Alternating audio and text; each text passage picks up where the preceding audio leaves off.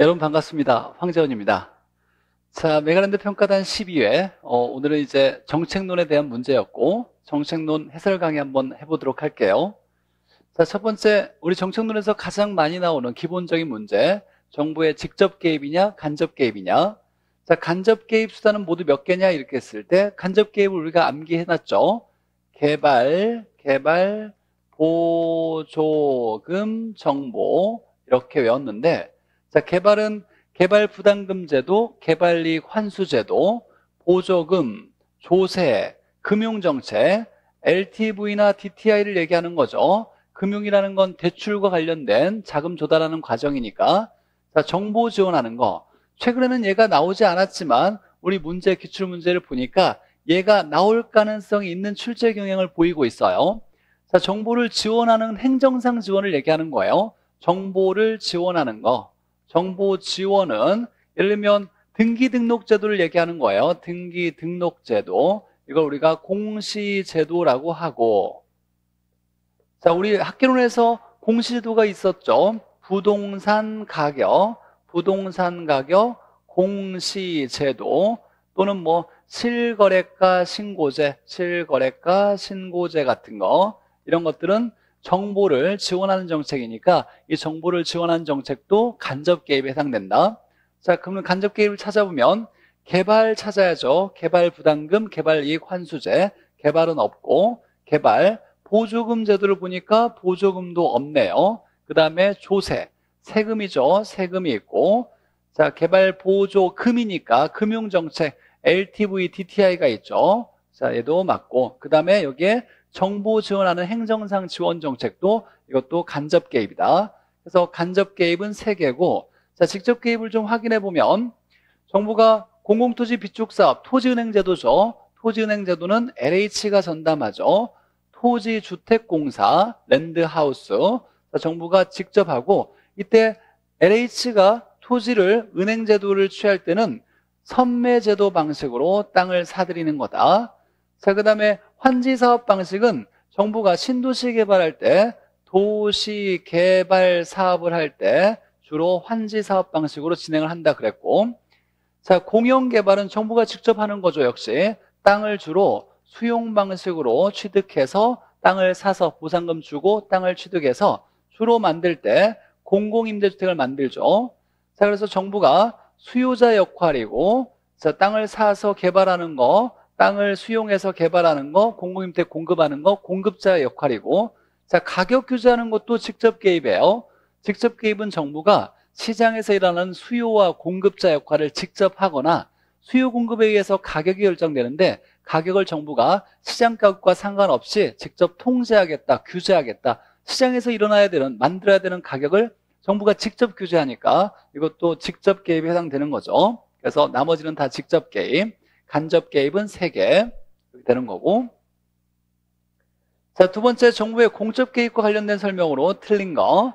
자, 시장 실패를 보완하기 위해서 정부는 개입할 수 있다. 맞죠? 자, 시장 실패는 자원의 배분이 효율적으로 달성되지 않는 걸 시장 실패라고 하죠. 시장 실패의 원인으로 우리가 암기했던 것이 외공, 불비 이렇게 있었죠. 외부 효과, 공공재, 불안정 경쟁, 정부의 비대칭성이 자원 배분의 효율성을 이걸 막게 하는 거, 시장 실패를 일으키고 이걸 해결하기 위해서 정부가 개입하는 거, 이런 정부의 기능을 시장에 문제가 있으니까 시장에서 일어나는 수요 공급을 경제활동이라 그래요. 경제와 관련이 있어서 이걸 경제적 기능이라고 하죠. 시장의 문제를 해결하려고 개입하는 것을 경제적 기능. 자, 두 번째 보니까 정부는 소득 재분배, 즉 돈을 많이 버는 사람에게 많이 세금을 걷어들여서 돈이 없는 사람에게 쓰는 거죠. 대표적으로 누진세 같은 거 또는 저소득층을 위한 정책, 저소득층을 위한 정책이라면 이건 다 소득 재분배가 일어나는 거예요. 주거 복지 증진, 돈이 없는 사람에게 주거 수준을 좀 높이기 위해서 이렇게 저소득층을 위한 정책을 위해서 정부가 개입하는 건 경제적 기능이 아니라 정치적 기능이라고 해요. 그래서 얘가 틀렸네요. 정부는 무조건 시장에 개입할 수 있다가 결론이에요. 즉 시장에 문제가 있어서도 개입할 수 있고 시장에 아무런 문제가 없더라 하더라도 저소득층을 위한 사회적 목표, 형평성을 좀 높이기 위해서 개입할 수 있는데 그런 저소득층을 위한 정부의 개입은 정치적 기능이라 하죠. 2번이 틀렸고 자 외부 효과로 인한 문제는 시장 실패죠. 외공불비가 시장 실패 일으키니까 정부는 개입할 수 있다. 1번 지문과 똑같은 거고 정부가 불안전함으로 정부의 비대칭성을 얘기하는 거예요. 정부의 비대칭성. 정부가 불안전하다는 건 정보가 숨겨져 있다. 비공개되어 있다. 숨겨져 있어서 소유자 공급자가 똑같은 정보를 대칭적으로 알고 거래하기가 어렵다. 가격이 왜곡될 수 있다. 자, 이런 것들은 자원 배분의 효율성이 달성되지 못한다. 이거 우리가 한 단어로 시장 실패죠. 그래서 정보의 비대칭성이 시장 실패 일으킬 수 있다. 맞는 얘기고 주택 보급률이 100%를 초과한다 하더라도 자, 잘 나눠지지 않을 수도 있고 충분히 초과되어서 100명 있는데 100세대 이상의 주택이 보급된다 하더라도 독과점이 일어나니까 잘 나눠지지 않을 수 있어요. 뿐만 아니라 이게 아무리 완벽하게 시장이 일어난다 하더라도 저소득층을 위한 정책이 필요해요. 시장에 언제나 저소득층이 있으니까. 그러니까 정부는 무조건 개입할 수 있다. 무조건 정부는 시장에 개입할 수 있다. 어떤 이유가 있더라 하더라도. 자, 그래서 나머지는 맞는 지분이고 2번이 틀렸네요. 자, 정부의 개입에서 경제적 기능과 정치적 기능 두 개를 구분할 수 있어야 된다. 시장에 문제가 있어서 정부가 개입하는 건 경제적 기능, 저소득층을 위해서 정부가 개입하는 거, 형평성을 위해서 개입하는 거, 이건 정치적 기능. 예를 들면 정부가 공공임대주택을 공급하였다. 이건 정부의 무슨 기능에 해당되냐 그러면 저소득층을 위한 공공임대주택이니까 이런 건 정치적 기능이라고 해야 되겠네요. 자, 3번 보죠. 공공재. 자, 공공재는 비경합성과 비배제성이 있죠. 빗자가 들어가야 돼요. 경합하지 않는다. 동시 소비성이라 그래요. 동시에 소비할 수 있으니까 먼저 차지하려고 경쟁할 필요가 없다. 자, 배제하지 못한다. 돈을 안 낸 사람도 이용하지 못하게 막을 수가 없다. 무료 소비성이라 그래요. 자, 이런 성질이 있죠. 이런 성질로 인해서 무임승차, 공짜로 이용하려고 하는 현상이 나타난다. 자, 그러면 자, 공공재는 이런 성격이 있으니까 누군가 만들어주기만을 기다렸다가 공짜로 이용만 하려고 하는 거예요. 그러면 이 공공재를 시장에 맡기면 필요한 것보다 많이 안 만들어지는 게 문제인 거죠. 과소 생산되는 것이 이게 문제인 거예요. 이게 시장 실패를 일으키는 거죠. 그래서 공공재의 시장 실패는 자, 필요한 거지만 시장에 맡기면 이런 성질 때문에 만들어지지 않는다. 그래서 시장에 실패가 일어난다. 그래서 3번이 틀린 거고 자 그래서 이거 필요한데 시장에 맡기면 만들어지지 않다 보니까 누가 만든다? 주로 정부가 세금이나 기금으로 공급하는 재화를 공공재, 다수의 시민이 함께 사용하는 재화를 얘기하는 거죠. 자, 공공재는 공원이나 도로 또는 학교, 도서관 또는 잘 보존된 산림, 국유림 같은 거 이런 것들도 공공재적 성격이 있죠. 그래서 주로 정의 외부 효과를 유발하는 경우가 많다. 정의 외부 효과도 우리가 이제 시장 실패는 뭐냐면 좋은 현상을 일으키는데 이 좋은 현상을 일으킨다고 해서 시장 실패를 일으키지 않는다가 아니라 좋은 현상을 일으키는 외부, 정의 외부 효과를 일으키는 시설 같은 거나 자원 같은 건 시장의 생산을 맡기면 안 만들어지는 게 문제인 거예요. 얘도 과소 생산의 문제가 있죠. 공공재는 정의 외부 효과와 비슷하니까 얘도 과소 생산돼야 된다 이렇게 나오는 거죠. 과소 생산되는 경향이 커서 정부가 주로 만들거나 또는 정의 외부 효과 같은 경우는 정부가 보조금이나 지원 정책으로 많이 만들게 유도하는 거죠. 잘 보존된 산림과 공원은 같은 거니까 공공재적 성격이 있다. 맞는 얘기죠. 틀린 건 3번. 시장 실패의 문제는 공공재의 시장 실패는 필요하지만 안 만들어지니까 문제다. 왜 안 만들어지냐? 그러면 비경합성과 비배제성으로 인해서 공짜로 이용만 하려고 하니까 안 만들어지는 게 문제다. 이렇게 나와야죠. 자, 네 번째 외부 효과에 대한 설명으로 틀린 거. 자, 외부에서 나타나는 효과다라고 해서 외부 효과예요. 시장 내부에서 나타나는 게 아니라 시장 외부에서 나타나는 현상이에요. 시장을 통하지 않으면서 맞죠? 시장을 통하지 않아야 돼요. 이 말은 시장을 통하려면 돈 거래가 있어야 돼요. 즉 물건의 교환을 하면서 돈 거래가 있는 게 시장을 통한 거예요. 근데 외부 효과는 영향을 받았으면서도 보상이나 대가가 지불되지 않는 현상이다 보니까 동거래가 없으니까 시장을 통하지 않았다 이렇게 정의하고 어떤 활동이 당사자가 아닌 제3자에게 영향을 주는 거예요. 전혀 다른 사람에게 영향을 주고 의도하지 않았어요. 그러면서도 보상 대가가 없는 이런 현상을 외부 효과라고 하죠. 자, 정의는 다 맞는 거고.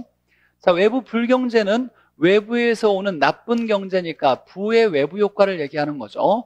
자, 부의 외부 효과는 우리가 정의 외부 효과를 어떻게 외웠냐면 정의 외부 효과를 이렇게 외웠죠. 생산 측면에서는 비용을 보는 거고 소비 측면에서는 편익을 보는데 내 돈 들여서 사회가 좋다 이렇게 외웠어요. 그래서 사적 비용과 사회적 비용 중에서 사적 비용이 큰 것이 정의 외부 효과예요. 그리고 사회가 좋다라고 했으니까 사적 편익보다 사회적 편익이 더 큰 거죠. 사회적 편익이 더 큰 것이 정의 외부 효과. 그래서 내 돈 들여서 사회가 좋다 이렇게 외웠죠. 자 그러면 부의 외부 효과는 내 돈 들이지 않고 사회가 돈을 많이 들이는 거예요. 그래서 사회적 비용은 사적 비용보다 크다 이렇게 나와야죠. 그래서 틀렸네요. 사회적 비용이 사적 비용보다 크다 이렇게 나와야죠. 자 2번이 틀렸고 자, 생산 과정에서 외부 경제는 외부에서 오는 좋은 경제니까 정의 외부 효과를 얘기하고 이 재화를 자, 시장에 맡기면 자, 필요한 것보다 안 만들어지니까 문제인 거죠. 그래서 필요한 것보다 과수하게 생산되는 경향이 있다. 그래서 정의 외부 효과는 좋은 영향을 줌에도 불구하고 시장에 맡겨서 맡겼더니 안 만들어지는 게 문제다. 그래서 정부가 개입하는 거죠. 그래서 정부가 개입을 해서 이때 어떤 개입이냐면 지원금을 하거나 보조금을 주거나 또는 세금을 감면시켜서 많이 만들려고 생산을 유도하는 정책으로 시장에 개입하는 거죠. 자, 4번에 보니까 정오의 외부 효과가 발생하면 핀피 현상, 이기주의 현상이죠. 지역 이기주의. 좋은 건 우리 지역에만 와주세요라는 핀피 현상이 나타날 수 있고 부의 부가는 절대 우리 지역은 안 된다. 님비 현상이 나타나는 거죠. 자, 부의 외부 효과의 문제는 자, 세금 부과나 규제 등을 통해서 감소시킬 수 있다. 나쁜 영향을 주는 건데 얘 자체가 문제가 아니라 시장에 맡겼더니 너무 많이 만들어지는 게 문제예요. 그래서 과다 생산이 문제니까 정부가 나쁜 영향을 주는 것을 시장에서 너무 많이 만들어지니까 규제를 강화하거나 규제를 강화하거나 세금 부과를 통해서 감소시키려고 한다. 맞는 얘기죠. 자, 틀린 건 2번. 우리가 정해부 효과와 부해부 효과의 생산 측면에서 비용과 소비 측면에서 편익을 구분할 수 있어야죠. 암기할 때 정해부 효과를 내 돈 들여서 사회가 좋다 이렇게 정리하고 부해부 효과는 반대다. 꼭 암기가 필요한 거죠. 자, 5번에 토지 정책에 대한 설명으로 틀린 거. 자, 지역 지구제는 토지를 효율적 경제적으로 이용하기 위한 토지 이용 규제의 대표적인 기본 정책이죠. 지역 지구제는 토지용에 수반되는 부의 외부가를 제거하거나 감소시키려고 실시하는 거 맞죠? 자, 부의 외부가를 제거한다는 말은 뭐냐면 시장에서 토지를 이용하려고 이용하라고 해 보니까 예를 들면 이 지역에 주택이 들어왔는데 여기에 공장이 들어설 수 있다는 거예요. 그럼 토지 이용에 효율성이 떨어지는 거예요. 토지 이용의 상충이 일어나요. 공장에서 물건을 만들려면 매연이 나오니까 부의 외부 효과가 작동하는 거예요. 그래서 토지 이용의 효율적인 이용이 아니다. 정부가 지역지구제로 만약에 이 지역을 주거 지역으로 정하면 공장 들어오지 말고 어울리는 것들끼리 주택만 들어와라. 공장은 따로 이쪽에 공업지역 만들어줄 테니까 공장끼리 모여 있어야 된다. 이렇게 얘기하는 것이 지역지구제죠. 그러니까 효율적이지 못한 토지용을 막기 위한 거예요. 효율적이지 효율적이지 못한 토지용을 부의 외부 효과가 나타나는 걸 얘기하는 거죠. 그래서 얘를 제거하기 위해서 실시하는 것 대표적으로 지역지구제. 가장 시험에 많이 나왔던 지문이죠. 자, 지역지구제에서 용도 지형은 중복 지정될 수 없다. 중요하죠. 용도 지역만 중복이 안 되고 용도 지구나 용도 구역이나 용도 지역과 구역은 다 용도 지역과 용도 구역은 지, 지구는 겹칠 수가 있어요. 단 하나 중복 지정될 수 없는 건 용도 지역끼리만은 절대로 중복 지정이 안 된다. 나머지는 다 중복이 가능하다. 자, 3번에 보니까 토지의 개발과 보전의 경합, 부딪힘이 생겼을 때 자, 어떤 사람은 개발하자고 하고 어떤 사람은 개발하지 말고 내버려 두자, 보존하자고 하자. 이런 부딪힘이 생겼을 때, 자, 이를 해결하는 수단으로 그러면 토지에 적합한 성질을 한번 따져보자. 토양이나 입지나 활용 가능성 등을 따져봐서 개발했을 때 얼마나 좋은지, 개발 안 하는 게 나은지를 판단해서 이걸 결정해 주겠다. 이걸 토지에 적합한 성질, 토지에 적합한 성질을 평가하는 토지적성 평가제도 맞죠? 자, 언제나 토지적성 평가제도는 이게 나오는 거죠. 개발과 보전의 경합이 생겼을 때 조정하는 수단. 자, 4번에 개발권 양도제는 자, 개발권을 양도해서 보상을 받으라는 제도예요. 정부가 규제를 했고 규제를 개발을 못하게 규제했는데 개발을 못하게 규제했음에도 불구하고 보상을 안 해주니까 개발하지 못하게 한 만큼의 이 용적률에 해당되는 걸 개발권으로 부여해서 이걸 개발 지역에 팔아서 보상을 받으라는 제도죠. 그럼 개발 지역 토지 소유자는 원래 5층까지만 지을 수 있었는데 개발권을 사오면 정부가 더 높게 지을 수 인정해 주겠다라고 하는 것이 개발권 양도제. 자, 개발 제한으로 인해서 규제되는 보전 지역에서 발생하는 토지 소유자의 손실이 있을 거예요. 이걸 손실을 보상하기 위한 제도는 맞는데 이때 정부의 재정을 통해서가 아니라 개발권을 거래를 통해서 얘가 보상을 이루어지게 한 제도니까 얘는 정부가 돈을 쓴 것이 아니라 시장을 통하여 이렇게 나와야 돼요. 시장을 통하여 보상할 수 있는 장점을 가지고 있지만 현재 시행 중이지 않죠. 미실시 제도죠. 폐지되진 않았지만 한 번도 시행되지 않은 제도죠. 그래서 가장 요즘 많이 나오는 건 개발권 양도제는 폐지되진 않았지만 시행 중이지 않는 제도이다. 이렇게 정리해놔야죠. 자, 틀린 게 두 군데네요. 개발권 양도제는 개발권을 이전해서 보상받으라는 제도니까 시장을 통해서 보상이 이루어진다는 장점이 있고 현재 시행 중이지 않는 제도이다. 이렇게 나와야 되고 자, 개발이익 환수제는 개발이익을 환수하는 거죠. 자, 개발 사업을 하면 개발 사업이 있으면 이제 개발에 따른 이익이 발생하는데 자, 이내 발생하는 불로소득적 증가분 이걸 개발이익이라 하죠. 개발이익. 개발이익을 일정액을 현행은 한 25% 환수하고 있죠. 이걸 환수하겠다. 자, 이때 중요한 건 이 개발이익은 사업 이윤과는 관련이 없는 거예요. 즉 개발 사업에 따른 이윤과는 전혀 관련이 없고 불로소득이니까 일하지 않고 번 돈이에요. 개발 사업으로 인해서 땅값이 토지의 가격이 정상보다 많이 올라가는 거, 즉 정상을 정상을 초과한 초과한 지가 상승분을 얘기하는 거예요. 지가 상승분 얘를 개발이익, 불로소득으로 보고서 이건 일하지 않고 벌어들인 돈이니까 일정액을 정부가 환수해서 좋은 데 쓰겠다라고 하는 제도를 개발이익 환수제. 이때 뺏어가는 돈의 이름을 개발부담금이라고 하는 거죠. 간접 개입의 대표적인 거죠. 개발 보조금 정보에서 이 개발이 개발부담금, 개발이익 환수제도. 자, 틀린 건 4번이 틀렸고. 자, 6번 보죠. 임대료 규제. 자, 임대료를 규제한다. 자, 규제하는 건 시장가보다 낮게 규제하는 거예요. 저소득층이 임대료에 대한 부담을 줄이기 위해서 낮게. 이때 상한을 정하는 거예요. 즉, 임대료 상한제라고도 해요. 임대료 상한제. 상한을 정하는데 상한을 시장가보다 낮게 정하는 거예요. 즉 임대료 규제를 상한제. 그래서 우리가 여기서 이제 나오는 말이 규제 임대료를 규제 임대료 정부가 규제한 임대료를 다른 말로 임대료 상한이라고도 해요. 임대료 상한. 자, 규제한 임대료를 임대료 상한. 상한을 정하는 거다. 다만 중요한 건 시장가보다 낮게 저소득층이 싸게 들어가라고 낮게 규제하는 거죠. 자, 근데 보니까 자, 균형 임대료, 시장 임대료보다 임대료 상한이 높을 경우 정부가 균형 시장가보다 높게 규제하면 시장에는 아무런 영향이 없다. 맞죠? 낮게 규제에 효과가 있고 높게 규제하면 아무런 영향이 없다. 그러니까 영향이 없다는 건 규제한 효과가 나타나지 않고 시장 가격 그대로 거래가 일어나는 거지. 규제가 이 규제한 가격이 시장에는 영향을 미치지 못한다. 이런 얘기고. 자, 임대료를 시장 가격보다 낮게 규제하면 이라고 나왔어요. 그럼 정상적으로 규제했어요.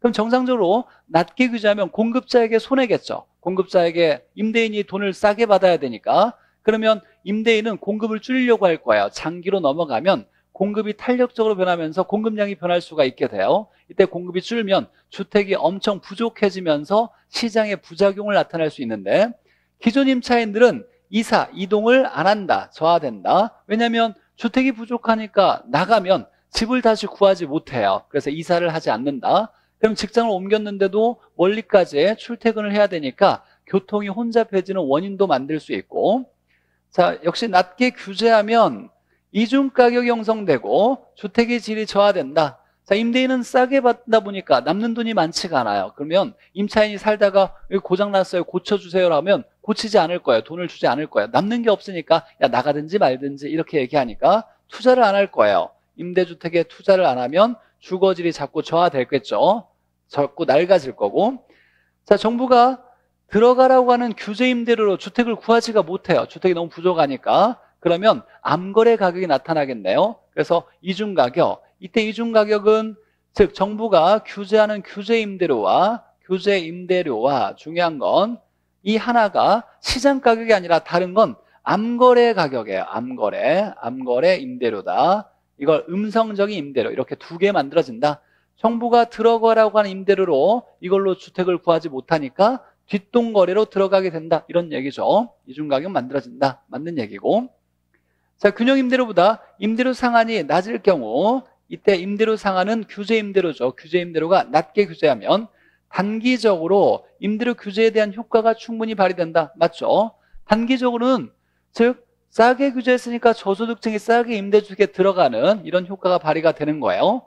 근데 상한이 낮을 경우 자 그러면 수요와 공급이 탄력적일수록 이 탄력적일수록이란 말은 우리가 탄력성이 커질 때 세수, 주장, 비싸, 용 될수록 탄력적이라 그랬어요. 이 장자가 장기일수록 그러니까 장기적일수록 장기로 넘어가면 탄력적으로 바뀌면서 이건 양이 변할 수 있게 됐다. 양이 변할 수 있게 되었다를 얘기하는 거예요. 변할 수 있게 되었다.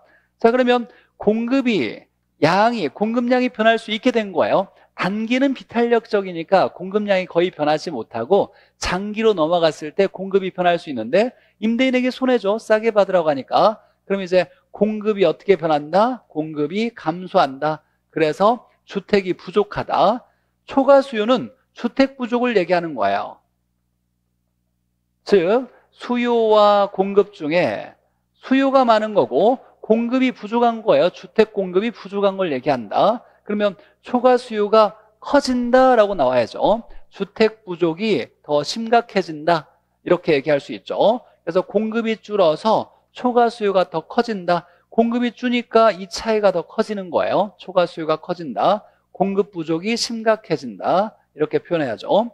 그래서 가장 중요한 포인트는 임대료 규제했을 때 임대료를, 임대료를 낮게 규제했을 때 장기로 넘어가면 공급자가 손해니까 공급이 줄어들어서 주택 부족이 심각해진다. 이걸 좀 더 어렵게 표현하면 초과 수요가 커진다. 이렇게 얘기하죠.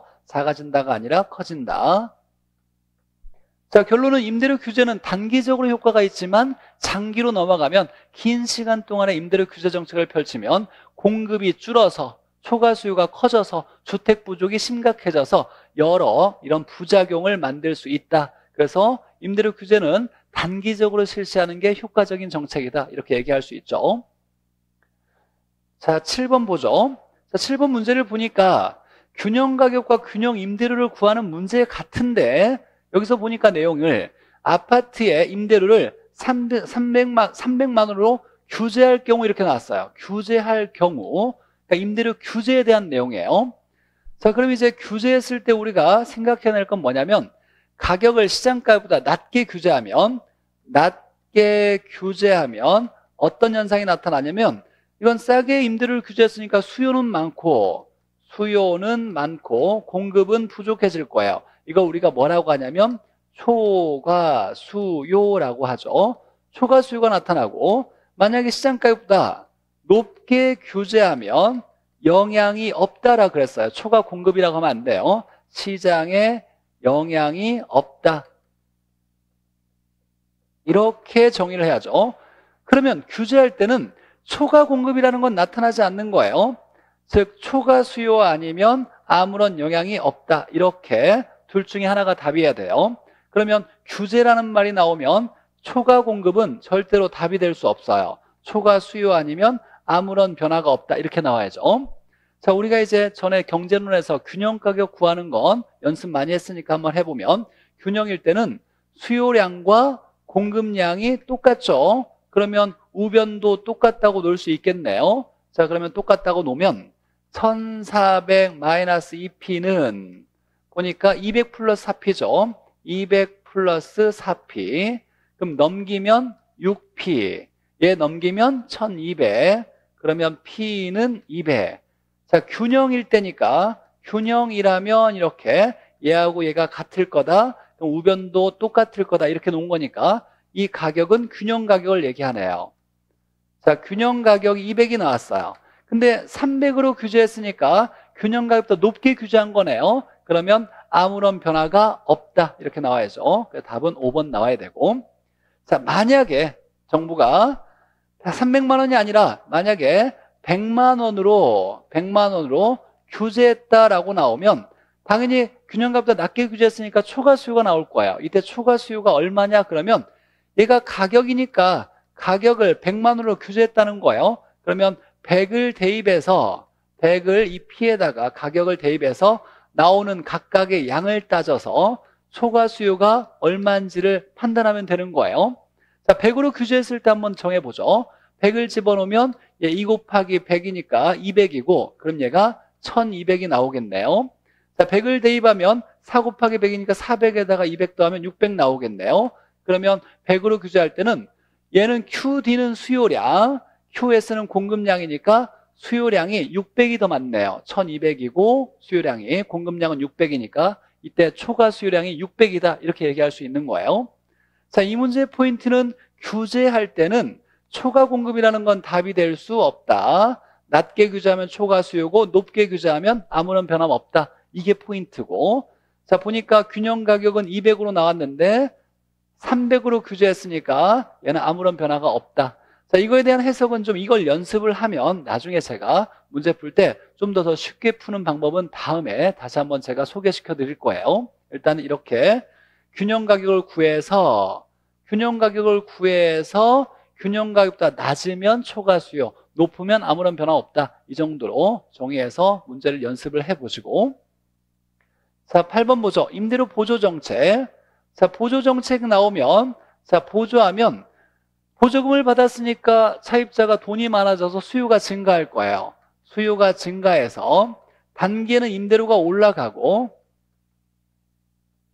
단기적으로는 임대료가 올라가고 자 그러면 임대료가 올라가면 임대인이 좋겠죠. 임대인이 혜택을 본다. 이 혜택은 임대인이 초과 이윤을 얻을 수 있고 자 장기로 넘어가면 공급이 탄력적으로 변하면서 변할 수가 있게 됐는데 여기에 가격이 올라가 있어요. 임대인이 좋겠죠. 가격이 올라가 있으니까. 그래서 이때 중요한 건 공급이 이제 늘어나는 거예요.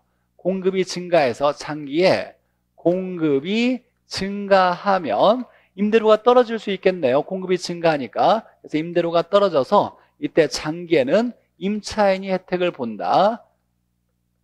자, 그래서 임대료 보조 정책이 나오면 가격이 올라갔다 내려간다. 올라갈 때는 임대인 혜택을 보고 내려갈 때 임차인 혜택을 본다. 그 다음에 중요한 거.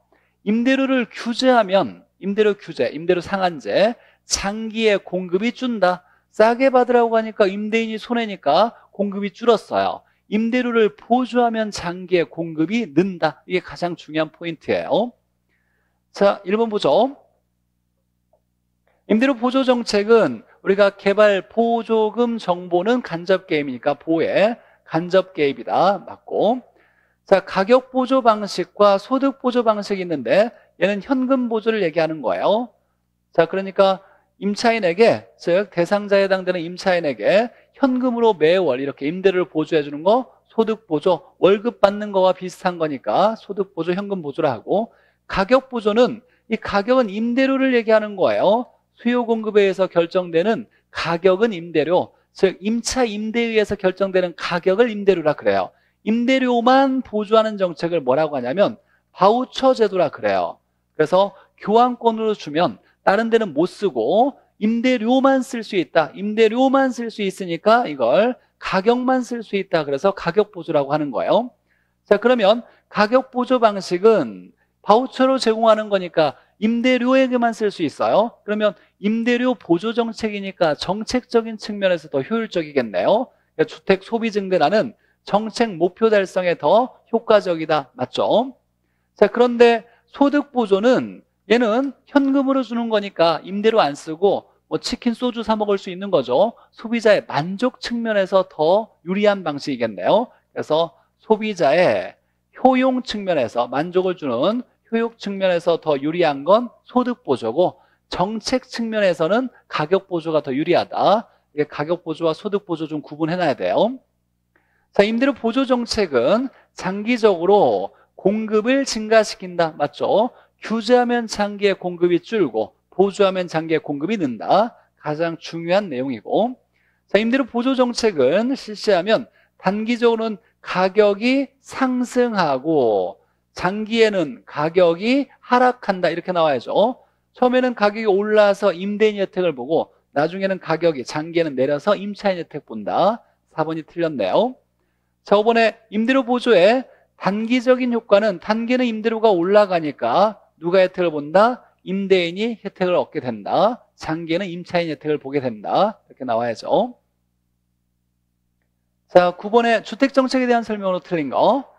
자, 선분양 제도는 공급자에게 유리한 방식이죠. 공급자에게 유리한 방식이다. 왜냐하면 건물을 짓지 않고도 분양을 해서 분양금 받아서 건물을 지어나가니까 공급자가 개발자가 자금을 조달하는 데 있어서 부담이 없겠네요. 모델하우스 보여주고 이렇게 만들겠다라고 해서 분양금을 받아서 분양계약해서 이 분양금으로 돈 받아서 건물 지어나가고 돈 떨어지면 중도금 받아서 건물 지어나가는 방식이죠. 자, 그러니까 선분양제도 나오면 공급자에게 유리한 방식이 먼저 탁 떠올라야 되고 자, 건설 자금의 대부분을 수요자, 즉 소비자죠. 소비자, 분양자로부터 조달한다. 분양금 받아서 건물 지어 나가니까 맞는 얘기고 자, 소비자 측면에서 후분양 제도는 이 후분양은 완공 후에 분양하는 제도를 후분양 제도, 선분양 제도보다 공급자의 부실 시공 및 품질 저에 대처할 수 있다. 당연하죠.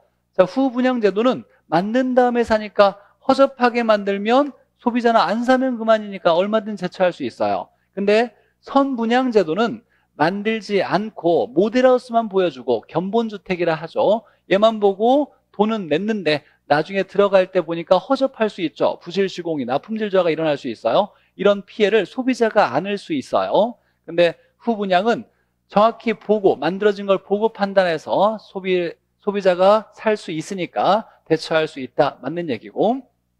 자, 3번에 보니까 장기 전세주택. 자, 이건 공공임대주택 얘기하는 거죠. 자, 보니까 지원을 받아서 만드는데 자, 젊은 층의 주거 안정을 위해 이렇게 나오면 얘는 행복주택이라고 나와야죠. 장기 전세주택은 전세계약 방식으로 이렇게 나와야죠.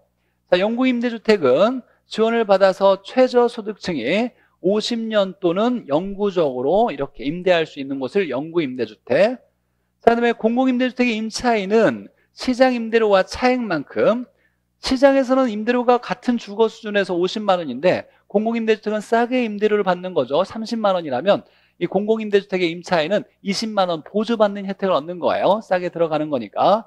자, 보조받는 효과를 얻을 수 있다. 맞는 얘기네요. 자, 10번에 조세 정책에 대한 효과를 설명 틀린 거. 자, 양도소득세가 중과되면 양도소득세는 매도인이 내는 세금이죠. 매도인이 세금을 내야 되는데 중과가 되면 매도인이 잘 팔지 않을 거야. 팔아봤자 세금을 너무 많이 내니까. 그래서 얘는 자 양도소득세가 중과되면 공급을 뒤로 미룰 거예요. 그래서 공급이 얼어붙는다. 동결 효과가 난다. 이 말은 공급이 줄어든다를 얘기하는 거죠. 자꾸 파는 걸 뒤로 미룰 거예요. 안 팔려고 할 거예요. 그러면 점차 가격은 상승한다. 맞죠? 공급이 주니까 가격은 올라간다. 자, 재산세를 동일세율, 비례세라 그러죠. 즉 가격과 상관없이 비례세라고 했을 때 30억도 20%, 뭐 10억짜리도 20%, 3억짜리도 20% 이렇게 똑같은 비율로 제공하 이렇게 세금을 부과하면 역진세적 현상을 초래하는 거예요. 오히려 돈 많은 사람이 세금을 더 조금 내는 현상이 나타나요. 그래서 이걸 해설하기 위해서는 동일 세율이 아니라 누진세로 부과하는 것이 바람직하다. 누진세가 바람직하다. 이렇게 나와야죠. 자, 3번에 보니까 토지의 공급은 비탄력적이기 때문에 그렇죠. 물리적 공급은 완전 비탄력이고 경제적 공급은 좀 일어날 수 있죠. 용도 전환을 통해서 우리가 일단은 총론에서 배웠던 거고 자, 토지 공급은 비탄력이래요. 그러면 세금을 누가 많이 낼 거냐 할 때 비탄력적이면 세금을 많이 낸다 그랬어요. 비탄력적이면 세금 많이 낸다. 공급이 비탄력이니까 공급자가 세금을 많이 낸다요. 이걸 통해서 알 수 있는 건 공급자, 소유자죠. 소유자, 토지 소유자의 조세 부담이 크다 이렇게 얘기할 수 있겠네요. 자 그러면 토지에 대한 보유세 세금은 자원 배분의 왜곡이 작은 효율적인 세금이다라고 나왔어요. 이 말은 뭐냐면 공급자가 세금을 많이 부담하면 조세를 전가시키지 못한다는 얘기예요. 내야 될 사람은 공급자인데 보유한 사람은 공급자니까 토지 소유자 공급자니까 이 사람이 내야 되는데 세금을 내지 않아도 될 임차인에게 떠넘길 수가 있어요. 자, 근데 공급자가 많이 부담하니까 조세의 전가가 작게 나타나겠네요. 임차인에게 떠넘기지 못한다는 얘기죠. 공급자가 많이 내니까. 그러니까 안 내도 되는 임차인에게 떠넘기지 못하니까 자원 배분에 왜곡이 없는 좋은 세금이다라고 얘기할 수 있는 거죠. 옳은 지문이네요. 자, 4번에 보니까 공급이 수요에 비해서 탄력적이면 이라고 나왔어요. 그러면 비탄력적인 대상, 탄력성이 작은 게 비탄력적인 거죠. 수요가 비탄력이니까 세금은 수요자가 많이 낸다. 그럼 수요자의 부담이 큰 거예요. 이때 재산세를 중과하면 임대인으로부터 임차인에게 전가되는 부분이 자 이건 수요자의 부담이 큰 거죠. 수요자 임차인의 임차인의 부담이 조세 부담이 크다 이렇게 얘기할 수 있는데 그러면 임대인이 임차인에게 전가를 많이 시킨다는 거죠. 상대적으로 크다라고 나와야죠. 임차인 세금을 많이 냈다는 건 임대인이 임차인에게 많이 전가시켰다. 원래 내야 되는 건 부동산을 가지고 있는 임대인이 내야 되는데 임대인이 임차인에게 떠넘긴 거죠. 그러니까 전가가 크다. 수요가 비탄력적이니까 임차인의 부담이 크니까 이건 임대인이 임차인에게 많이 떠넘겼다를 얘기하는 거죠. 점가 부분이 크다라고 나와야 되겠네요. 4번이 틀렸고 자 거래세 인상에 의해서 경제적 순손실 세금을 인상하거나 정부가 규제를 강화하면 시장에서는 수요도 줄고 공급도 줄어요. 수요와 공급이 준다는 건 경제 활동이 줄어드는 거예요. 이건 경제적으로 손해가 발생하는 거죠. 그래서 경제적 순손실이 발생하죠. 이때 수요나 공급이 탄력적일수록 탄력적이면 양이 많이 변할 수 있는 거죠. 줄어드는 걸로 정해져 있는데 탄력적이면 양이 많이 변하니까 많이 줄고 많이 줄게 되는 거예요. 많이 줄게 되면 손해가 크게 나타나겠죠. 그래서 손실, 순손실이 크게 나타난다. 우리가 암기 코드로 순탄이라고 외웠어요.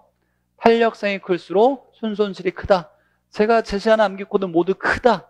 크다라고 방향이 정해졌으니까 순탄 이렇게 외우면 되겠고 자 틀린 건 4번 우리가 조세를 누가 많이 부담할 거냐라고 할 때 수요와 공급 중에 비탄력적인 탄력성이 작은 대상에 세금을 많이 낸다.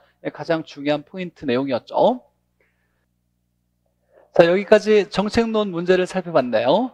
요즘 날씨가 무더워졌으니까 체력 관리 잘 하시고 꾸준하게 이렇게 평가단 문제를 풀어보시면 분명히 나중에 문제를 잘 풀게 돼서 합격하는 데 큰 도움이 될 거라고 확신하고 있어요 자, 몸 관리 잘 하시고 좋은 거 많이 드시고 저는 다음 주에 다시 인사드리겠습니다. 고생하셨습니다